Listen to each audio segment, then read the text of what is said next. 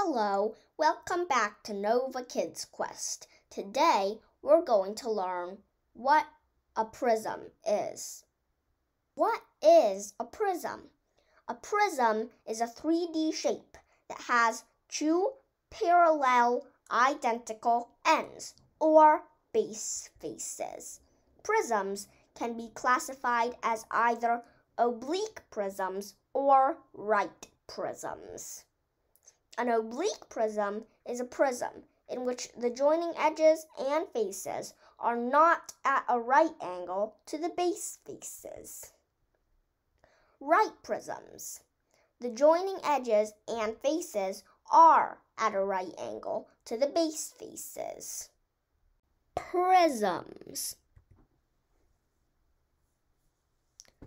Triangular prism has ends that are identical triangles joined by three rectangular sides.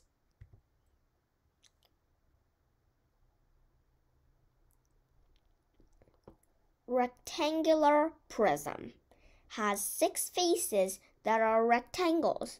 Opposite faces are identical.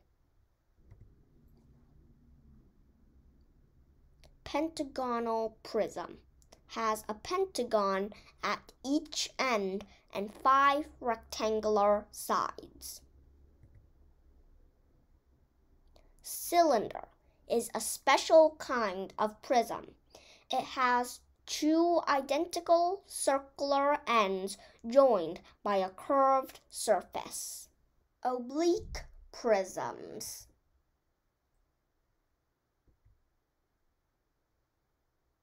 oblique square prism has a square at each end.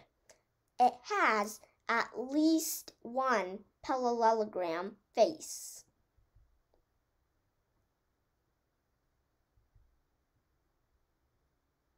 Oblique pentagonal prism has a pentagon at each end.